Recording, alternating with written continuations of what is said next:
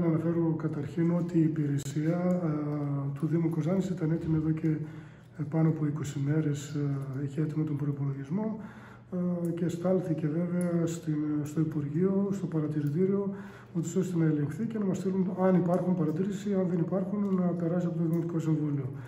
Δυστυχώς μέχρι σήμερα δεν μας έχει έρθει από το Υπουργείο σχετική απόφαση και περιμένουμε γι' αυτό και σήμερα θα αναβληθεί η συζήτηση για το επόμενο Δημοτικό Συμβούλιο, όπου πιστεύω ότι σίγουρα θα υπάρχει η έκθεση του παρατηρητηρίου. Υπάρχει περιθώριο δηλαδή για το Δήμο να εγκρίνει τον προβλητισμό και εντός της επόμενης χρονιάς; Ναι, υπάρχει περιθώριο. Το βασικό είναι και το σπουδαίο για το Δήμο ότι είμαστε έτοιμοι από κάθε άποψη.